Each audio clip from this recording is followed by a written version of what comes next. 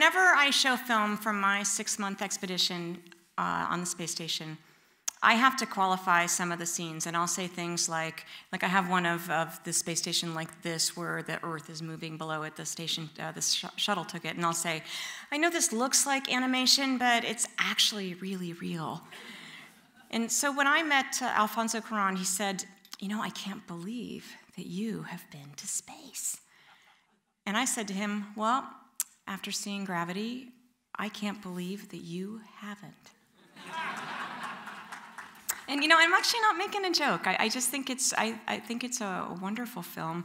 And we're here tonight to meet some of the people who created a movie that brought all of us to space. And in my job as an astronaut, that's one of the things that's really hard about it is that I get to go, but my family doesn't get to go, my friends don't get to go. But gravity brought them to the place that meant so much to me. So both Alfonso and I are driven to take people on journeys to places that they can't go by themselves. And I think the visual experience is a really important part of making that happen. I've described my spaceflight uh, to folks in great detail before, and I think they think they understand all about it. I mean, I'll sit there at lunch and we'll talk about things and I'll describe things, and then I show the videos. And they look at me and they go, Oh, you were there. I became connected with the Gravity movie while I was living on the space station. My brother met Sandra Bullock's brother in law, and they put us together. How great is that? So, during our phone conversations between Earth and space, Sandra and I focused really on two things. The first one was how to move. I tried to share what it felt like to get up in the morning and fly. You know, I'd open the door of my cabin, I would fly through the lab, I would hook a right through the node, do all those things that people do in the morning, and I would fly, as Peter Pan would say, straight on till morning. I wanted her to understand that you could move yourself anywhere with the lightest touch of a finger. And in fact, you could take a single hair from your head and you could stretch it between two hands, like this, and you could use it to push off of any kind of corner or thing, and that would move you all the way across the space station. That's how little force it takes. The second thing that we focused on was how it felt to live in space when everyone that you knew and loved was very far away. And despite our amazing technology here on this earth, we're still people. And I have a husband and a son who was 10 at the time, a grown stepson, and it was very hard to leave them behind.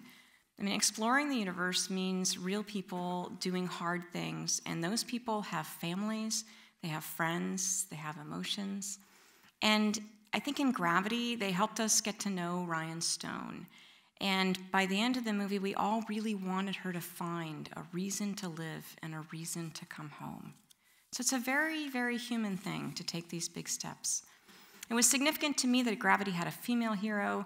I think it's invaluable for the next generations to see themselves in tough, resilient characters like Ryan Stone. The makers of Gravity sent a powerful message, and it is so important that girls can be and need to be part of the technological solutions for our planet. Can you imagine the idea of millions of girls around the planet thinking that they could do anything? It's awesome. It's ironic to me that the world of movies and the world of space exploration share the same imperatives to launch, live in orbit around our planet and come home safely, or to make a movie that takes people from their seats in, in a theater into orbit around the Earth. Well, it requires technology and innovation at their highest levels. But the ultimate result is to further the human experience. And with gravity, I think that you've shared not just a view of this beautiful planet, but what it felt like to have that view. Both movies and actual exploration ask us to suspend our disbelief, and I think that's okay. Today, we're learning to leave our planet at NASA. The newest US capsule is slated for its first unmanned flight later this year. That's very soon in our book.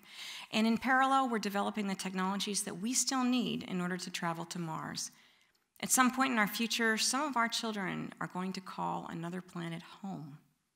And I can look you in the eye and I can promise you that the experiments that we are doing on your space station are going to change your lives in terms of science, human physiology, and technology. And they're going to continue to change the very nature of the way that we live our lives on this and other planets.